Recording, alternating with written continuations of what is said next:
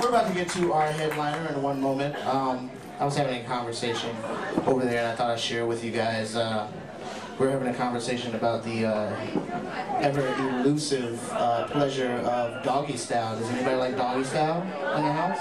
Anyone? She's like, I like she put her hands up like Hitler. Like she was like, yes. I love that. Love that shit. Well, I'm a big. A huge fan of it. Like, I mean, it's okay in certain instances, in certain drunken nights, and when you don't want to see them at all. But my whole thing is that I just don't like, for lack of a better term, I don't like their asshole staring at me in my face. Like, I don't like looking directly at it. Why? Lies. Lies? Lies. Oh, I'm lying? Yeah. Easy. Don't put my personal business out in the street. I've only been to Lake County once. Calm down. So, ladies, oh, gay joke. so no, my whole thing is just that I just don't like it staring in my face, and I'm thinking like the whole situation where I'm with a girl and I'm, you know, in that precarious position, like doing that. I'm like, oh, just stop winking at me. Seriously, like, can you stop winking at me? And she's like, what? My eyes are closed. Like, I'm not winking at you. I'm like, I'm not talking about those eyes. I'm talking about this eye. Like, stop winking at me. And she's like, what are you talking about? I'm like, your brown eye. Like, are you serious? Your brown eye is winking at me. It's opening and shutting and opening and shutting, and I don't like it. I don't enjoy it. And she's like, what are you talking about? What is a brown eye? I'm like, dude, you don't know like other terms for your asshole? Like you have no idea? I thought you were smart. And she's like, of course I'm smart. I went to Northwestern. And I'm like, well, I'm fucking you doggy style, so you might as well went to Robert Morris College, right? Because for, for all I care. I love telling that joke because I love picking out who actually graduated from Morris, Robert Morris College. And them just either giving me a really shitty look or just hanging their head in shame. Love it. I love it. Ladies and gentlemen, are you ready for your headliner? Come on.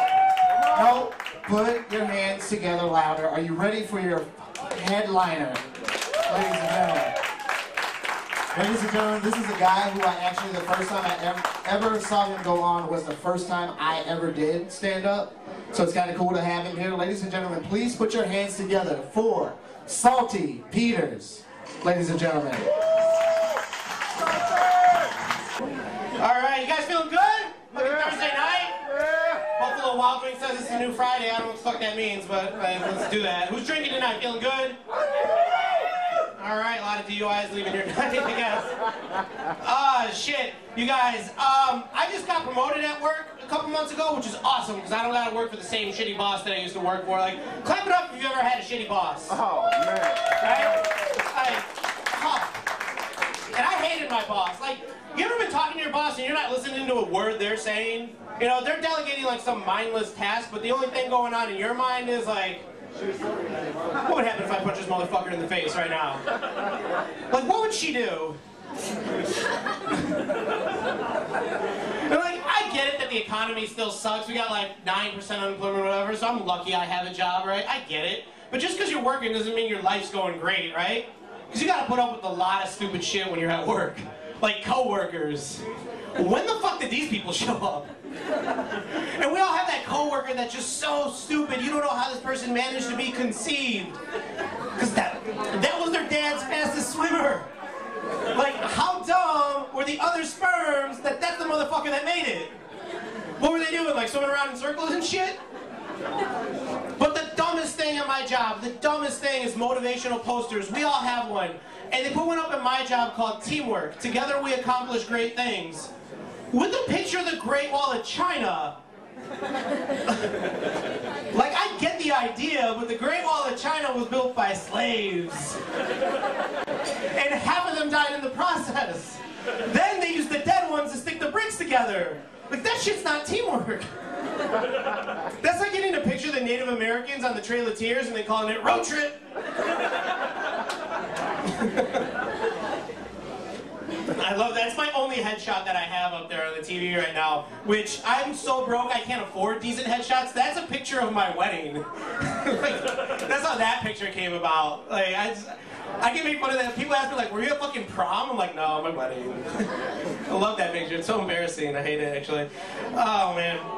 Any, we got any Catholics here? Anybody grow up Catholic, raised Catholic, practicing Catholic? I was, yeah, a couple. I was raised really, really Catholic. And when I say that I'm uh, raised very, very Catholic, you guys, what I mean is that my dad is a Catholic deacon. And uh, in case you don't know what a deacon is, that's like an overgrown altar boy. So that's old enough to fight back if the priest tries to touch him. So, but like growing up really Catholic with my dad being a deacon, man, I was at church a lot. I was at seriously like four times a week at church. So I figure I got a good line of credit with the Almighty, right? The only problem is, just like every other line of credit I've ever had, I've managed to fuck it up.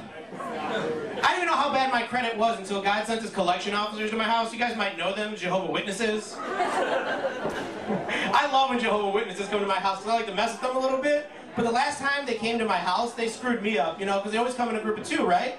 One of the dudes was blind. I'm like, dude, you're supposed to be a fucking witness. like, can you call yourself a witness when you're blind? I don't think you're witnessing much, dude. That's like a Jehovah's listener, okay? nice. So I'm really close with my dad too. Uh, he just got himself an HD TV uh, earlier in the year, so uh, I went over there to set it up for him. And I'm setting it him up, right? And the first thing that my parents wanted to do was watch the home movies on the new TV. They want to see what it looks like.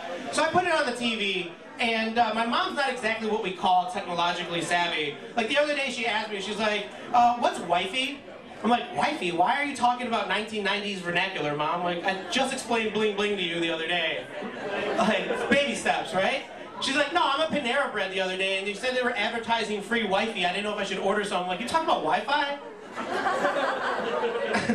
like, so that's my mom, right? So I set up the TV and we're watching home movies, and my mom, she sits there and she goes, this widescreen TV, I don't like it, take it back, it's weird, I hate it, take it back. It makes me look weird. And my dad, he doesn't miss a beat. He goes, that's because the video isn't formatted to fit the TV. This TV is formatted to fit your fat ass. it's like, holy shit, dad. Erectile dysfunction really takes away that filter.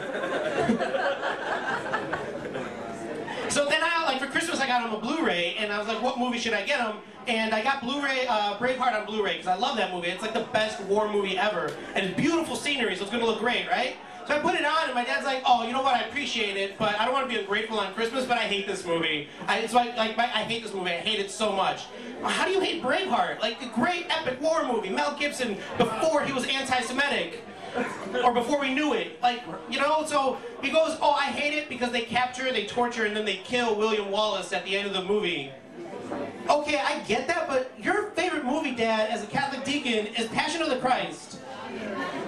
That's the same ending! That's like meeting a girl that loves Twinkies but doesn't suck dick. Same ending.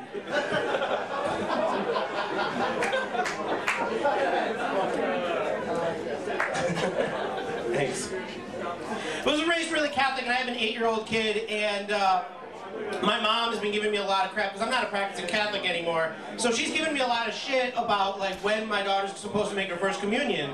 And I just like when she gets old enough, I'll teach her about different religions. She can choose whatever she wants. Pretty uh, open-minded like that. But she's giving me a lot of shit about it. She's like, when's my granddaughter gonna make her first communion? I want to see her make her first communion. And like my niece is a year older, so she just made hers. And so like I went to it, and I get it. I get like my why my mom wants that, you know, because like the kids look adorable. They're all dressed in white, you know, especially the little girls. They look so cute in their white dresses. And if my daughter ends up being anything like her mom, like it's the only time she can wear a white dress in church, like with any dignity.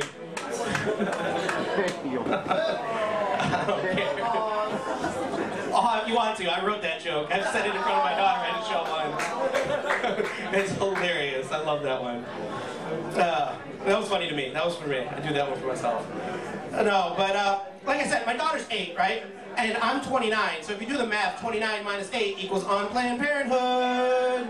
And, and like my daughter was born when I was in college, and so uh, a lot of people will, at the time, especially a few years after, they ask us a lot of questions. They're like, "Oh, was that a difficult time for you guys? Was that a really tough time for you guys?" Like the question there, without really asking, is like, "Was abortion an option for us?" And it wasn't at all for us. Like personal decision for us, we did not consider abortion. Now that my daughter's eight, I think about killing that motherfucker like once a week. like she does not shut up. She's just always running her mouth and this real smart ass. like I, I, I love comic book movies. I love comic books. I love comic book movies, right? And earlier in the year, I'm growing out my hair, and at the time is when Thor came out. So I took my daughter to go see Thor. We watch every comic book movie that comes out. So um, I tried to impress her. I tried to like you know be like cool or whatever. I think she would like get a kick out of it. And so I'm like, hey, you know, Dad, see Thor? That's why Daddy's growing his hair out, because he wants to be like Thor. And this little smartass looks at me and she goes, yeah, because the hair is what you're missing. you're an asshole, kid. so, but like, her mom and I, we, uh, we broke up shortly after she was born. Like, she's like a year old, and uh, we just didn't make it. And, uh, like a year after we broke up, her mom ended up getting married, and I hated her ex, her her husband. Like I hated it for no good reason, just because it was my ex's husband, right? I just hated the guy for no reason. But like after the last several years, like like seven years have passed, and like I've gotten to know the guy. Um, he stays at home with uh, her, and with like they've had a couple kids since then. So whenever I go pick up my daughter, he's the guy that's there. Like he's always there. Um, he's always the one. Like the mom, uh, my ex works all the time, so I've gotten to know him really like a lot. And I talk to him, like he'll usually invite me in the house, I'll have a beer or whatever. He's a really cool guy. He's like the kind of guy I could be best friends with if he didn't have such horrible taste in women.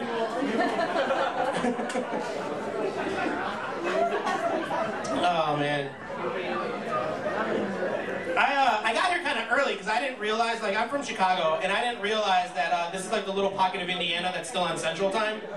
So, they're like, I, I get out of work and I got here crazy early, so I was walking around, and uh, holy shit, you guys have a lot of antique stores in this little area. I'm like, is there really that much antique stuff? Because it looks like everyone just got a license to have a garage sale 24-7 and operate that as a business. it was crazy. And then I'm like, I was walking up right here, uh, what is this street? Uh, Main Street, right? I'm walking up, and then I got scared shitless in front of the courthouse. I didn't realize you guys had a life-size nativity out there. And that scared the bejesus out of me. I thought someone was gonna jump at me and like grab me, and then I'm like, oh no, no, it's just baby Jesus. He's good. And then all of a sudden, like the yeah, that was the first thing. I don't. I thought someone said it. Like I. I don't know why. Like, no really never occurred to me, but I just wanted to steal baby Jesus just to see what that would be like. Like I just want like people report that on the news all the time. Like, what would that be like? But he's like one solid piece of the little basket they have him in. So I'm like, fuck, I can't do that. Like I would totally take in baby Jesus, but the whole basket would have looked too conspicuous. but uh, I was thinking about speaking of him, Jesus and Christmas and all that, and God. I was thinking about God, and uh, you guys ever notice when like things are going great in someone's life, they give God all the credit, right? It's always glory to God. But when things go bad, like God never seems to take any of the blame. Like if that's not proof God's a woman.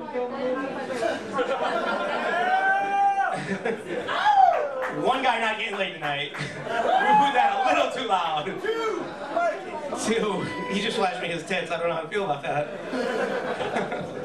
oh no. I'm kidding. Like I love women. My wife's a woman, so that's good. That helps, right? That's always good. But uh, like women get away with some crazy shit and like men don't call them out on it. Like women can say things like 40 is the new 30. And like men, we just let you do it. We don't call you out. But it doesn't work the other way, you know? Like I can't go up to you and be like, hey baby, broke is the new wealthy. I'm rich in here. Not gonna work, because she's just gonna look at me and be like, well that's great, but you're never gonna get in here. Like animal print clothing, 2012, and that shit is still sexy? Like, when did zebras become sexy? And who are you trying to attract when you dress like this, ladies? Like the crocodile hunter? Because I gotta tell you, like, if you're at a bar or a club, and a guy looks at you and he's like, girl, you look hot in that zebra dress, what he's really saying is, girl, I like Animal Planet more than I legally should. And who knows, maybe it is sexy. Maybe it's sexy and I'm just losing touch now that I'm like almost 30. Because while 30 is not actually old, it is old enough to lose touch with like that 19, 20, or 21 year old generation. And what did it for me were the dance crazes. Because say what you will about my generation, but when we were growing up, we had amazing dance crazes. We had the butterfly, uh-uh, that's all, let me see that Tootsie Roll. That was the shit! But what do the kids have in the last few years? What do they have? They got Superman, that ho! And the stanky leg. The stanky leg! Like, how is that a dance craze? When I was in junior high, stanky leg is something I got from dry humping.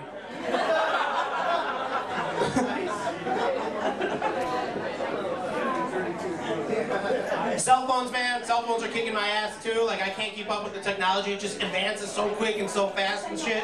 And like, here's the thing. Like I had the same shitty cell phone for like seven years. It did nothing fancy. It made calls and I sent texts. Like that was it. I did not have 4G internet. I did not have Facebook. If my wife was too tired for sex, there was no app for that. And nobody even uses their phone to talk anymore. They just use it to update their Facebook status. You know, like, oh, I hate my job. I wish my boss was dead. LOL. Like, LOL. LOL has got to be the most abused thing of all time. It is the um of the internet generation. You know, like I saw my friend put this on Facebook. True story. She said, I'm going to the hospital to visit my mom. I hope my kids behave and don't act like monsters. LOL. that shit's not funny. If your kids don't behave, you don't blog about it. You punch those motherfuckers right in the throat. Like my dad was old school. He didn't put up with any of that shit. Before we went anywhere, before like before we got in, he would give me a preemptive strike in the back of the head, like, "Listen here, you motherfucker. Listen here, you little rat. I don't know if you're mine." But when we get in restaurant, people are gonna assume that you are. So I don't want you running around. I don't want you acting fool. You better not embarrass me like that is Chuck E. Cheese.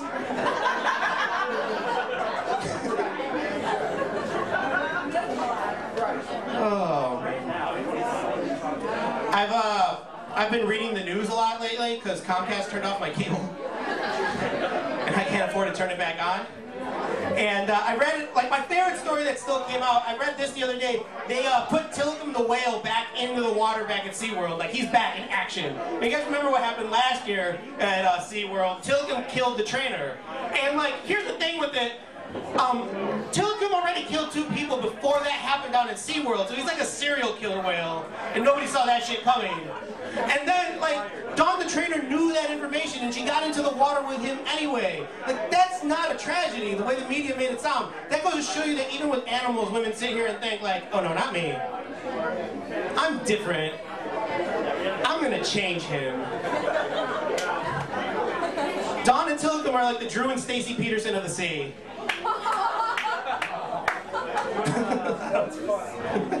Too soon. They haven't found her for like four years. That's just not soon. and like I read another story too. Okay. Uh, this lady got killed. Her, her son's an astronaut. He's out. He was out on a space mission when she got killed by a train. Like that a tragedy, right? But as you read on, it finds out that like she was on her way to a doctor when she came to a railroad crossing and didn't want to try and wait for the train, and the bars were down, so she tried to beat the two cars in front of her and beat it. And wouldn't you know it, the train hit her and she died. Like that's not a tragedy. That's number 846 on a thousand ways to die. Do you know how fucking stupid you have got to be to get killed by a train? It's got flashing lights, it honks a loud horn, it goes in a straight line on a track. It's not like the train all of a sudden made a left. And what bothers me is that this kid, like, she, this lady passed on her DNA to a child that is now an astronaut. Like, that makes me not confident in NASA whatsoever. Like, all I'm saying is next time if you see a shuttle launch, that shit launches in reverse, you're gonna know whose dumbass kid was driving the shuttle that day. And to top it off, the kicker too, I don't know why, they, they didn't mention it in the whole article. At the end, they felt the need to mention that the lady with the fucked up driving skills was Asian. I was like, what? that would have like that would have ended the story in the first two sentences. You should have started out with that. Would have been like, oh, totally makes sense. I get it. oh god. Oh man. Let's see what I want. Oh, uh, products. I hate some of the stuff that they come out with. Um, like right now, that I see this in Chicago all the time we got like a huge section of like really far left liberals that like do stupid shit. And the dumbest thing that I could see anyone that like wants to help the environment, like that really green movement, is drive a smart car. Like I hate that fucking car. I take shits bigger than that car.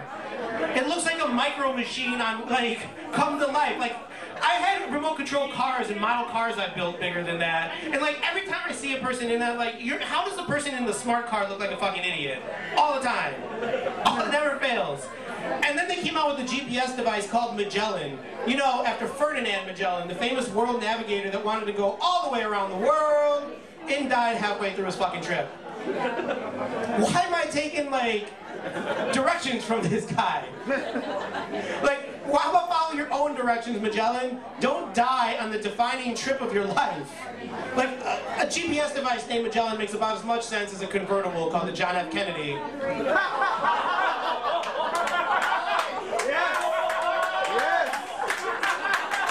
Yes.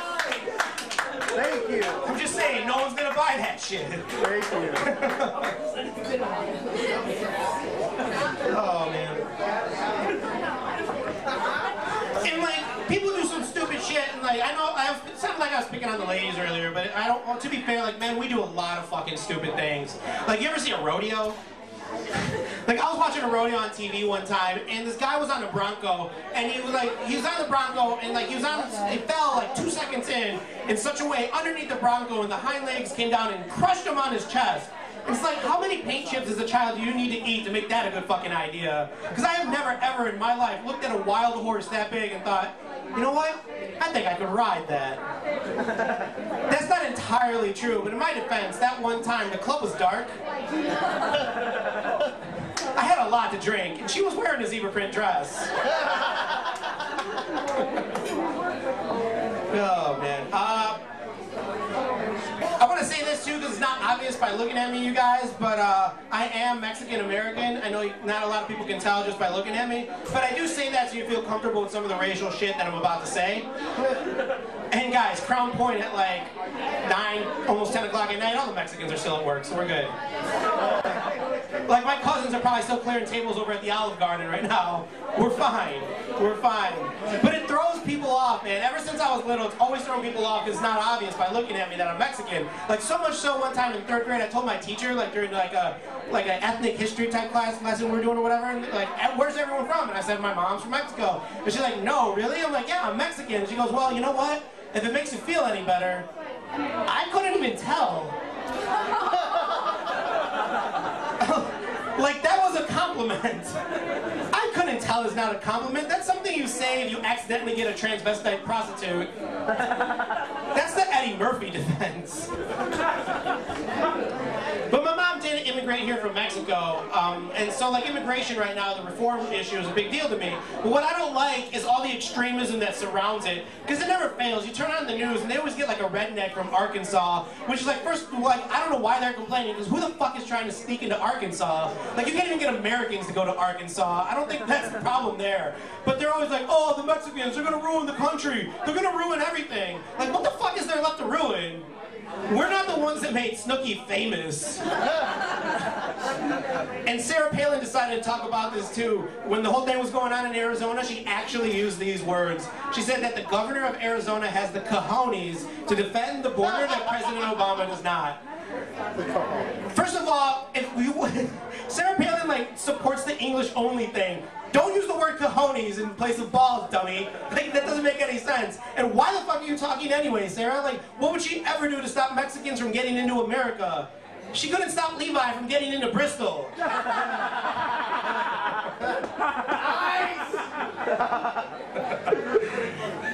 See, the thing is, we just need to know our ethnic history in this country, because it's not the first time that millions of immigrants come to America when their country's in a fucked up spot. You know, like the same thing happened with the Irish, right? And look at the Irish, they're doing just fine. Like every March, we celebrate the most revered Irish tradition ever, day drinking. Yeah, like let's do that shit on Cinco de Mayo too, right? Why not? I was at a show and I said that one time, and this guy yelled at me from the back of the club. He's like, "Yeah, that's right, dude. The Irish, we built this country. We didn't farm it." It's like, whoa, whoa. Of course you didn't farm it. Like you let the potatoes die. We're not gonna let you get close to the wheat and the corn.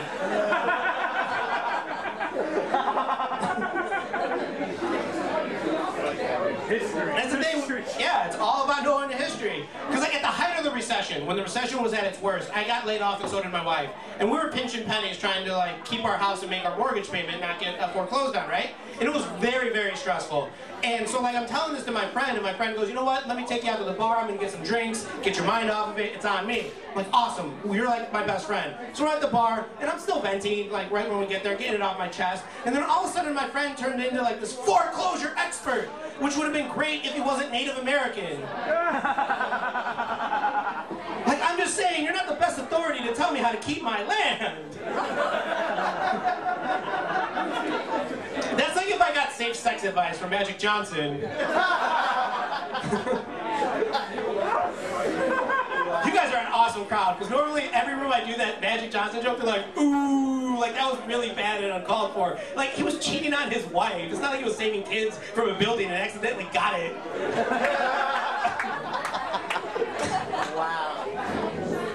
So I, I applaud you guys for not being sensitive to that one. That was awesome. And the thing is, like, I'm, we all need an our ethnic history, and we and I'm all for ethnic pride. We should all be proud of our heritage, proud of where we come from. Totally support it. Let's do that. But you guys ever like meet that guy that's just a little too proud? And it's like for shit he had nothing to do with, right? It's like the Mexican guy that sucks at math that goes, "Yeah, the Mayas are my ancestors, and we invented the number zero. Good for you, Carlos."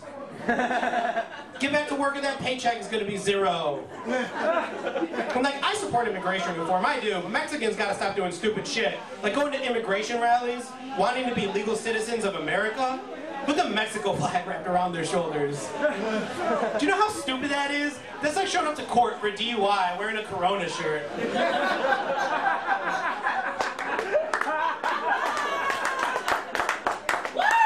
With Snooki as your lawyer. Matt was talking about the Tea Party earlier, and uh, like they, some of the incongruency when it comes to politics is what really gets to me. The Tea Party is like the, the best example that we have right now out in the forefront. Is because like when the whole debt thing's going on, and they're still complaining about the debt and the deficit, and everything has like I, I get it that you want to be for like small government, but they get a little too carried away with it with like, well, how are we going to pay back this debt? How are we ever going to pay back our debt? Like, relax. We have Barack Obama. If anybody knows how to avoid their debt,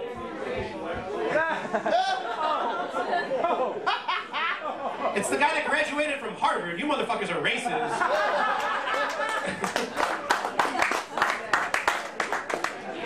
No, like what got to me too was the healthcare debate when they're like, oh no universal healthcare, no universal healthcare. But they also say that they're Christian, and as a Christian, you have to ask yourself, like, what would Jesus do? He would heal people. He didn't ask for a copay. It's not like the beggars were showing up like, hey Jesus, can you knock out my leprosy? Let me see who your provider is first. Uh, Blue Cross Blue Shield. Well, I think you know how I feel about crosses. And you're Muslim? Holy shit, that's not a network, dog. I'm sorry. Like, no, he took care of that shit. Jesus knocked it out. man.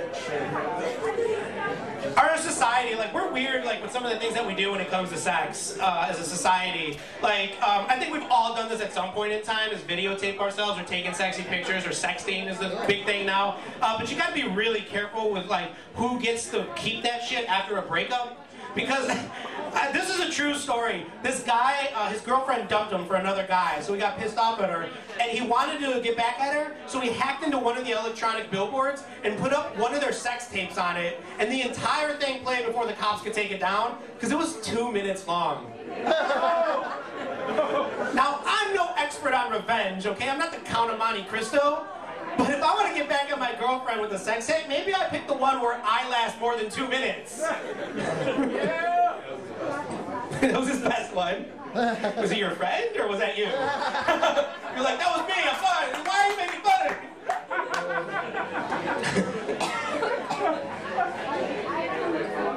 that and like, um, I have friends now that like, as we're getting older, they still think they can date certain girls of like 18, 19 years old. And I'm like, that's really creepy is like 29, 30 years old, and you want to date an 18 year old? Like, that's really fucking disgusting. I mean, don't get me wrong, I would definitely fuck the shit out of an 18 year old.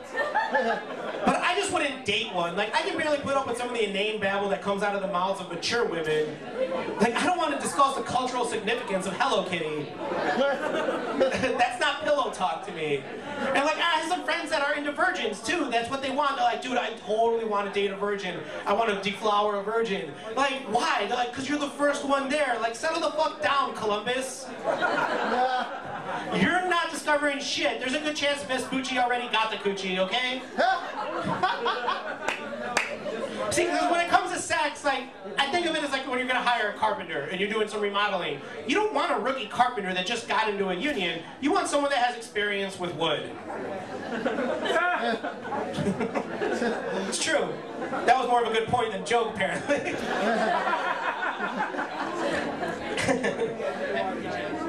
A big fan of talking dirty in bed. I love it. I love to talk dirty in bed. But you guys ever been talking dirty and that shit goes in the wrong direction? Like, I was hooking up with this girl when I was in college, right? And uh, we wanted to role play to spice things up. But in college, if anyone's in college, you know you're broke. You don't have any money when you're in college. And so we want to role play. And, uh, but we don't have the money for costumes, so we're doing that on a budget, and that never fucking works out, because you never know who's who. Like, I'm hooking up with the girl, right? And right as we were about to get down to business, she looked at me over her shoulder, and she was like, are you gonna get me, Big Bad Wolf? She was playing Little Red Riding Hood. I didn't get it, but I wanted to play along anyway, right? So I was like, Little pig, little pig, let me in.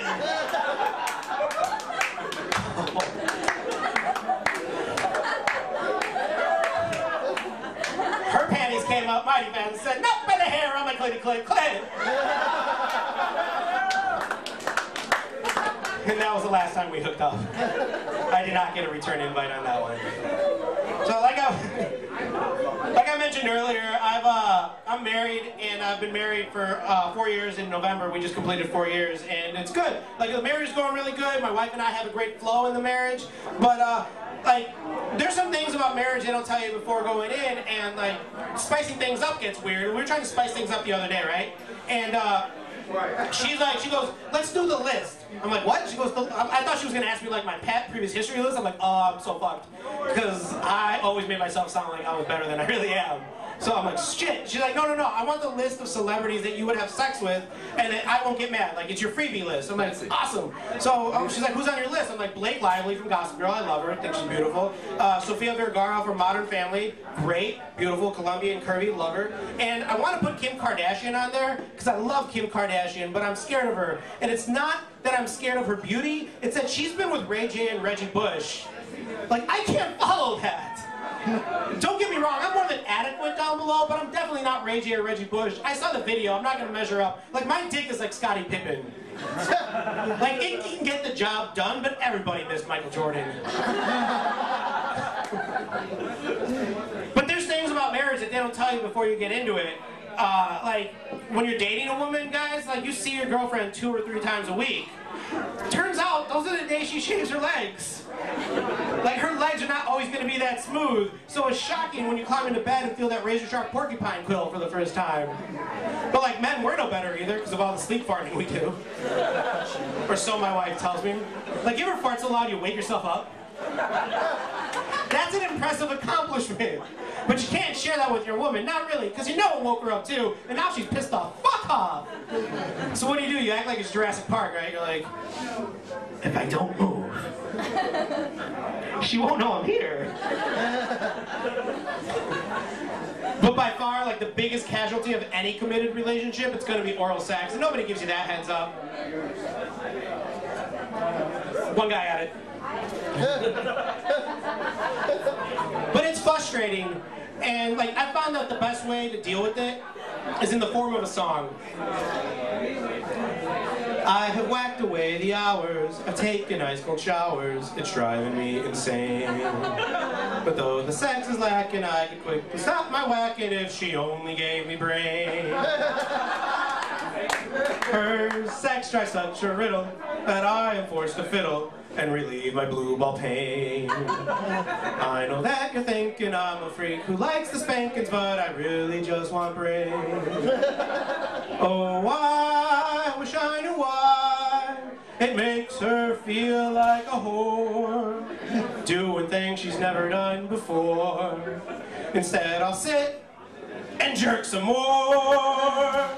I wish I could lick her muffin. I'd give her a good stuffing. I'd make her scream my name. And even though it's scary, I can eat it when it's hairy if she only gave me brain. Thanks guys, that's my time. Thank you, Crown Point. Have been awesome.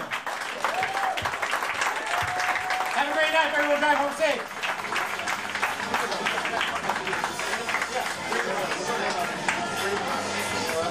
Ladies and gentlemen, please give it up again for Salty Peters. He's got the CD, Salty Peters, Bring the Ruckus, which I think is a hardcore title. It's a beautiful deal. Five bucks if you guys want to hear Salty Peters in an extended version of his hilarious set. Did you guys have a good time? Yeah? Had a good time. Everybody was funny. Nobody accosted the camera. It was good. Worked out well. Only a few people get that reference. Woody didn't fall off the couch today. That was always good. Ladies and gentlemen, that is the end of our show.